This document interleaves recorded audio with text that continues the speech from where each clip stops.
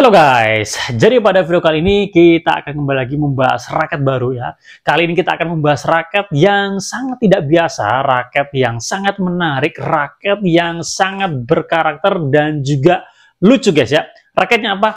Ini dia raket dengan tema Doraemon guys ya. Wah, ini raket yang memang sangat tidak biasa sekali ya dan jarang bisa kalian temukan di pasaran ya. Dan semisal kalau kalian bawa raket ini ke lapangan ya dan teman kalian lihat, wah pasti kalian akan mendapatkan senyuman dari teman-teman kalian guys ya.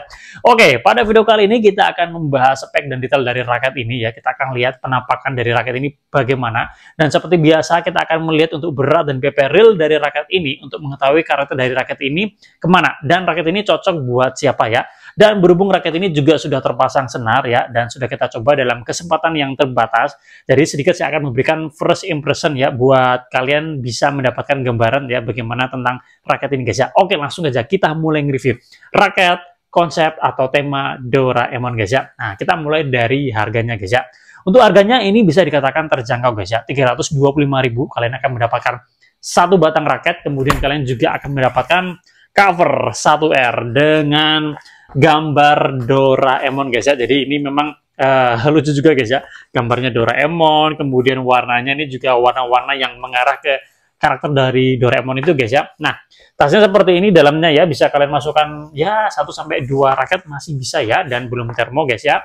Oke, kemudian kita ke cat desain dan finishingnya ya. Nah, ini karena raket dengan konsep Doraemon jadi pilihan warnanya ini cerah-cerah guys ya. Jadi ada biru, ada toska, ada warna merah, putih, dan ada beberapa warna lainnya. Kemudian ini desainnya juga desain yang ya sangat Doraemon sekali guys ya. Yang menarik di bagian hijaunya ini ada gambar apa guys ya, kayak lonceng atau apa ya istilahnya ya, yang biasanya itu dililitkan di kalung kalung yang biasanya dililitkan di leher uh, hewan peliharaan kucing ya dan ada bunyinya itu namanya apa guys ya uh, kelintingan atau apa ya bahasa Indonesia-nya ya kemudian untuk di end cap-nya ini juga dia ada uh, wajah dari si Doraemon guys ya. Jadi ini raketnya memang uh, menarik banget ya desainnya ya.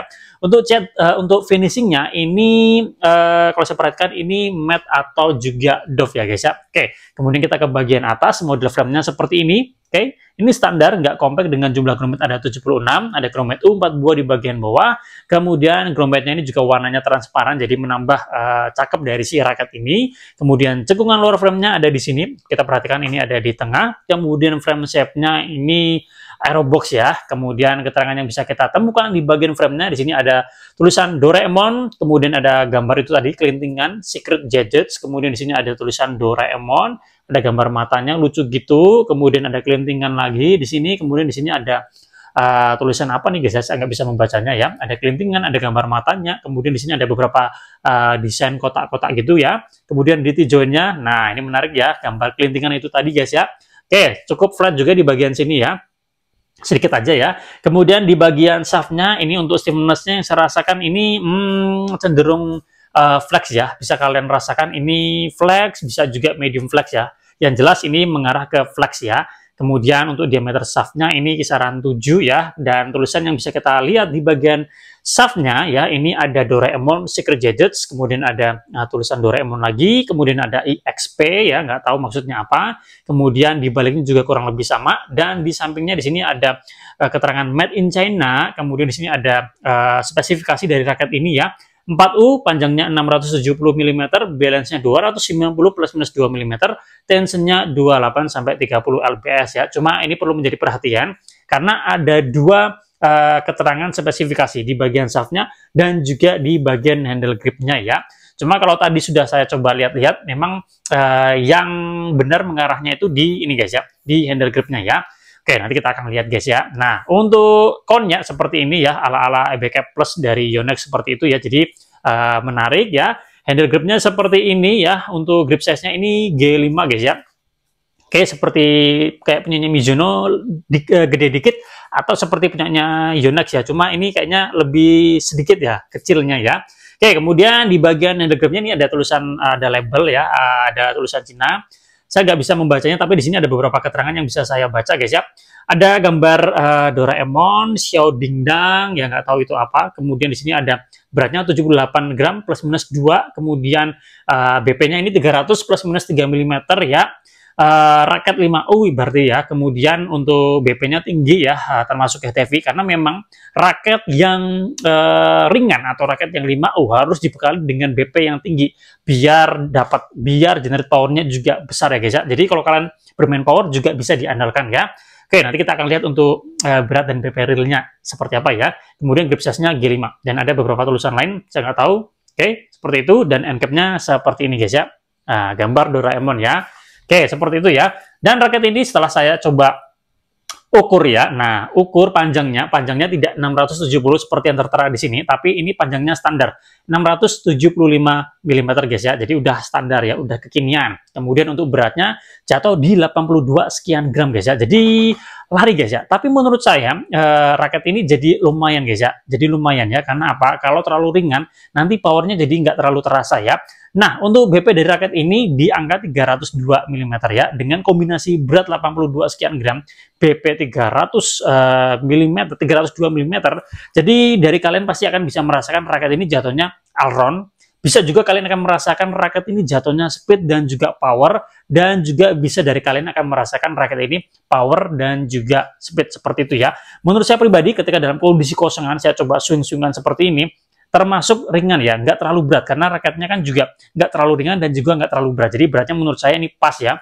BP-nya lumayan tinggi, jadi secara generate power juga lumayan ada guys ya. Dan raket ini dengan uh, spek yang seperti itu tadi ya, spek real seperti itu tadi, jadi jatuhnya bisa kalian rasakan ya secara umum ini uh, Alron ya. Jadi raket ini bisa digunakan oleh siapa aja, bisa menjangkau banyak orang. Buat kalian yang pemula, buat kalian yang sudah intermediate pun juga bisa menggunakan raket ini. Atau buat anak kalian yang masih sekolah, masih SD, juga bisa menggunakan raket ini ya. Pasti kalian, anak kalian akan suka dengan raket ini guys. Jadi menarik banget ya guys ya. Nah, raket ini sudah terpasang dengan senar. Jadi saya mencoba mencari senar yang warnanya juga masuk di raket ini. Jadi yang ready ya senar dari Kelis dengan seri Pro 98 dengan tarikan uh, dengan uh, ketebalan 0,63 mm ya. Tarikannya 28 lbs, crossnya mainnya 26 lbs, mesin digital dibuat 4 simbol. Hitting soundnya seperti ini guys. Lumayan nyaring. Oke. Okay. Jika kalian pasangkan dengan senar yang lebih bagus, pasti akan lebih maksimal lagi ya untuk uh, hitting soundnya guys ya. Nah, raket ini sudah saya gunakan dalam kesempatan yang terbatas. Yang saya rasakan memang raket ini secara umum jatuhnya alron guys ya. Secara swing enak, secara kontrol juga menurut saya enak. Secara power uh, belum maksimal dan saya belum bisa merasakan secara lebih jauh ya kalau kita powerful smash bagaimana. Tapi untuk power ya dengan BP yang lumayan tinggi 302 jadi secara generator udah lumayan guys ya.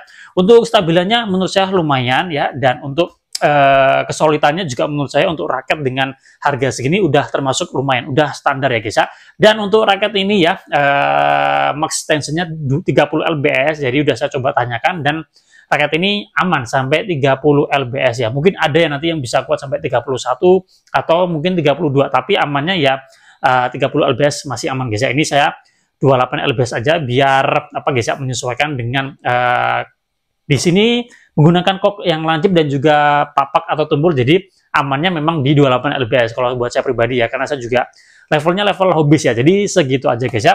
Oke, saya rasa cukup sekian review kita kali ini membahas raket dengan tema atau konsep Doraemon, raket yang sangat menarik sekali ya. Uh, untuk review pemakaiannya ditunggu aja guys ya. Nah, kalau kalian tertarik dengan raket ini, kalian bisa kontak saya atau cek aja nomor yang ada di kolom deskripsi sertakan di situ ya karena raket ini memang tidak banyak yang menjual. Hanya sangat-sangat terbatas sekali ya. Kita jumpa lagi pada video yang lain. Salam sehat salam olahraga